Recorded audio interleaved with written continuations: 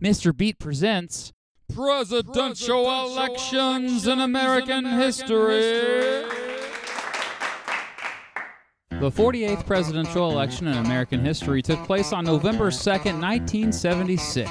The country was now over 200 years old, but during this time, an increasing number of Americans didn't seem to trust their government. This guy might be the reason why. Oh, yeah, and this guy too. Remember how Richard Nixon won big in the 1972 election? Well, as it turns out, his campaign that year was up to some shady stuff. Some of his supporters broke into the Democratic National Committee headquarters at the Watergate office complex in Washington, D.C., in order to spy on them. They were busted, and this was eventually known as the Watergate scandal. As it turns out, the Nixon administration was involved and later tried to cover it up. Nixon was forced to give up audio recordings that proved this, facing impeachment by the House of Representatives and likely getting fired by the Senate. Nixon resigned on August 9th, 1974. Just like that, he gone. Gerald Ford, the vice president, was sworn in as the 38th president in American history. Hold up, what happened to Spiro Agnew? Spiro Agnew had actually resigned the year before. He had his own scandal involving him receiving illegal bribes back when he was the governor of Maryland. So Nixon nominated Ford, a dude from Michigan who at the time was the House Minority Leader. Congress overwhelmingly approved the nomination. Good thing the fairly recently passed 25th Amendment to the Constitution said they can now do this. Also, because of the 25th Amendment, Nelson Rockefeller became the 41st vice president in American history. So, what is one of the first things that Gerald Ford does? Well, he pardons Richard Nixon. Oh, that's so sweet of him. Ford was president during a tricky time. The Vietnam War was ending as the Americans left and let South Vietnam fall, which was a humbling defeat, and the economy wasn't doing so well back at home. The United States dealt with stagflation, which is when things basically cost a lot while unemployment goes up and companies produce less. In 1976, Ford tried to get the Republican nomination for president as the only sitting president who had never been elected to national office, and he had an impressive challenger. Ronald Reagan, the now former governor of California, nearly took the nomination. Going into the Republican convention, the two were dead even. However, Ford won the nomination narrowly on the first ballot. Because Nelson Rockefeller finally wanted to retire from politics, they needed a new vice president. So the Republicans nominated Bob Dole, a senator from my home state of Kansas, as his running mate. Just like in 1972, many sought the Democratic Party nomination. Four stood out in the beginning Henry Jackson, a senator from Washington state, Mo Udall, a U.S. representative from Arizona, Jerry Brown, the governor of California and son of former California Governor Pat Brown, and George Wallace, who, despite being shot and paralyzed during the last election effort, was still going strong. Well, none of those four saw Jimmy Carter coming. Carter, a former governor of Georgia, took everyone by surprise by winning the early Iowa caucus and New Hampshire primary. Henry Jackson didn't even compete in those, and boy, was that a big mistake. He never recovered. Ever since then, the media has spent extra special attention to Iowa and New Hampshire, you may have noticed. Check out Political Junkie and Step Back History explain this in more detail. Anyway, Carter capitalized on the fact that he was a DC outsider and a centrist from the South to become a successful dark horse candidate. Despite an ABC movement or anybody but Carter movement, Carter got the nomination at the convention with Walter Mondale, a senator from Minnesota, as his running mate.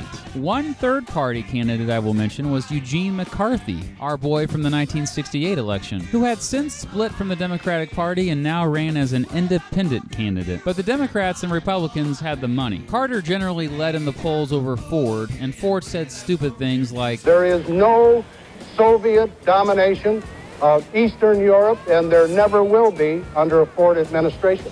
Ford also had the baggage of pardoning Nixon. But then again, Carter was talking about lusting for women other than his wife to Playboy magazine, so the race remained tight. Bob Dole and Walter Mondale participated in the first ever formal vice presidential candidate debate. During the debate, Dole talked trash about all the Democratic presidents of the 20th century, saying their military unpreparedness led to all the wars fought in this century. This actually backfired and hurt the Republican ticket. And here are the results. Peace. Jimmy Carter won, becoming the 39th president in American history. He received 297 electoral votes. Gerald Ford received 240. Ford actually won 27 states and Carter just 23, and this was the closest electoral vote result since the election of 1916. One faithless elector in Washington state actually gave their electoral vote to Ronald Reagan. The popular vote was fairly close too. Carter got 50.1%, while